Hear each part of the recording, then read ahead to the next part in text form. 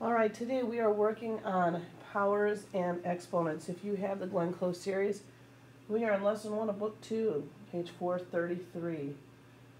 We're going to start off talking about what an exponent is. Product of like factors can be written in exponential form using an exponent and its base. So our objectives today is we're going to figure out what these exponents are. We're going to be able to write them and solve them. So we have a couple definitions here. We have the base, and that is your base number that's used to, as a factor, and the exponent that tells how many times it's used as a factor. So in this first square, we have factors. These are your factors, okay? This is your base, and this is your exponent. Okay, your factors are just what you're going to multiply. A lot of the misconception with this is that when you see 10 to the second power, that exponent, you want to say 10 times 2, and you want to make it 20, and it's not. It's 10 times 10. That 2 just tells you how many times to multiply that base number by itself. How many times do you factor it? So it shows you that 10 to the second power is 10 times 10. So it says, give an example of that. Um, you could um, you, you could do anything. You could write, uh, let's see, we could do 4 to the second power. Uh, we could do, know, 8 to the third power. Okay? Now, if you did 4 to the second power, it'd be 4 times 4. Because that 2 tells you how many times to write 4 times 4. Okay? And if you want to do 8 to the third power, you would do 8 times 8 times 8. Okay? So over here, I'm going to write 8 times 8 times 8. Not 8 times 3, 8 times 8 times 8. Okay, I'll move that down for a second in case you need it. So, exponents are not hard to do. What makes it difficult is remembering not to do just your basic 8 times or 10 times 2, but to remember that it's 10 times 10. So the definition of exponent in your own words, what would you say it is? I would just say, if it was me, I would say something like um, a small number that, let's see, that tells you, sorry, that's a horrible tells, how many times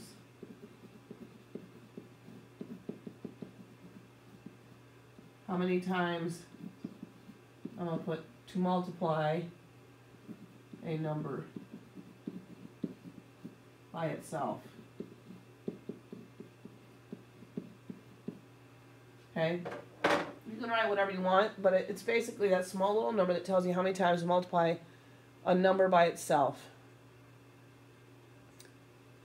So the next problem down, it says MP3 players come in different storage sizes such as 2 gigabytes, 4 gigabytes, 16, where gigabyte means, uh, where GB means gigabyte.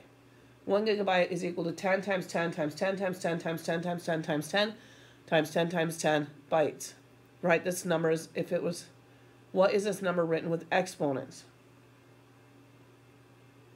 So you're going to first, your base number is obviously going to be 10 because that's what's repeated over and over again.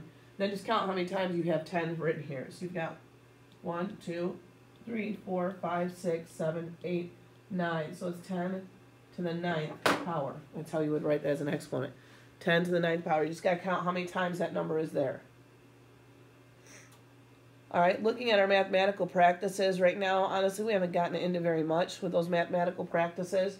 Um, we could say that we're making use of structure and that we're using mathematical tools maybe using repeated reasoning.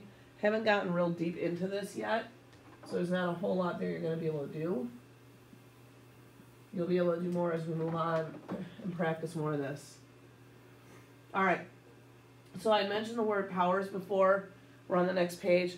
Numbers um, expressed during exponents are called powers. For example, 100 is a power of 10 because it can be written as 10 to the second. Numbers like 100 are perfect squares because they are squares of whole numbers. So your perfect squares are things like um, like uh, 25, because 5 times 5 is 25. Uh, 36. 6 times 6 is 36. So then it talks about perfect cubes are number with three identical whole number factors, such as 4 times 4 times 4 is 64. So 64 is actually a perfect cube. So if you can multiply the same number by itself, let's see, when we do area, like we're figuring out um, how much it's, like if this was a room and we were figuring out how much it would take to carpet it, if it's not the same, like if it's an 8 by 10 room and you had to take 8 times 10 to figure out the area, it's still a squared number, it's just not a perfect squared number. Perfect squared number is exactly the same number times the same number. So if you had a 10 by 10 room, that's a perfect square. If you had a cube, like the Rubik's Cubes are a perfect cube, because they are exactly the same size all the way around. This one is 10 by 10 by 10, it's a thousand, so a thousand is a perfect cube number.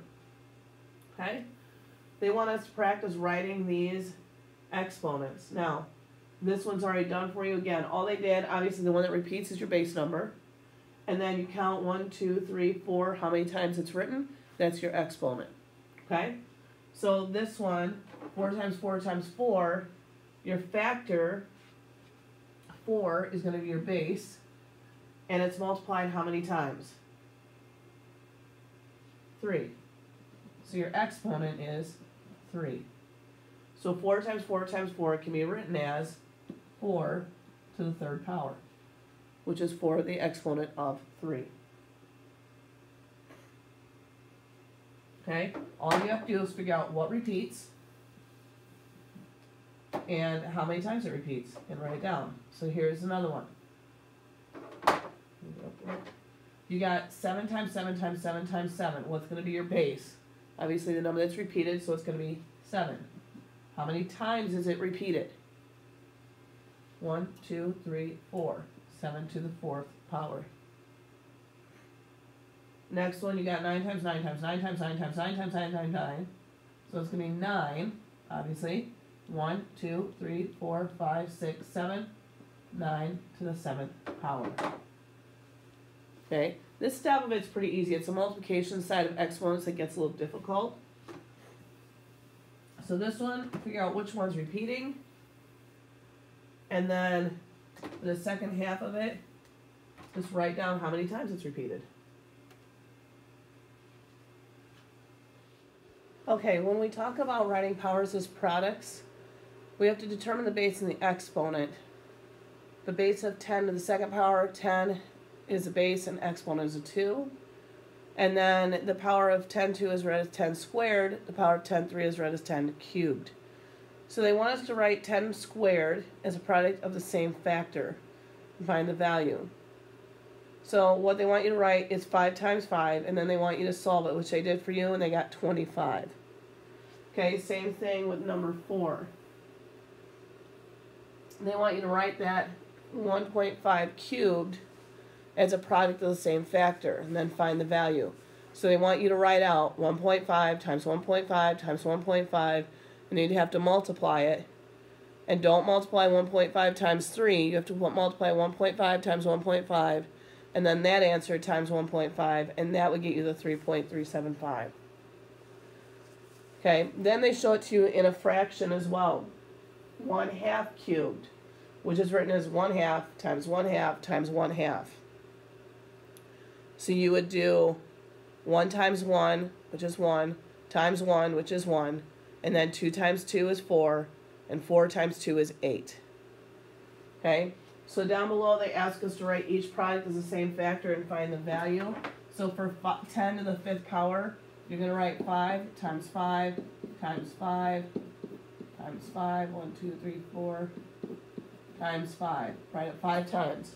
So you have 5 written 5 times. Then 5 times 5 is 25. 25 times 5 is 125. Then 125, I'm going to do that down here, 125 times 5. You can multiply any way you want to. So if you need to do lattice or box or, what's the other one? Lattice, box, column, method. You can do whatever way you want to. 12, six hundred twenty-five, so this one is six twenty-five times five again, so six twenty-five times five.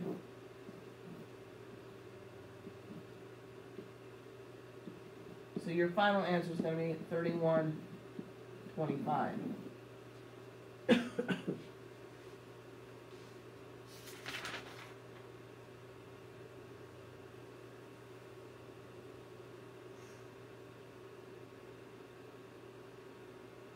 Oh, I just did all that wrong.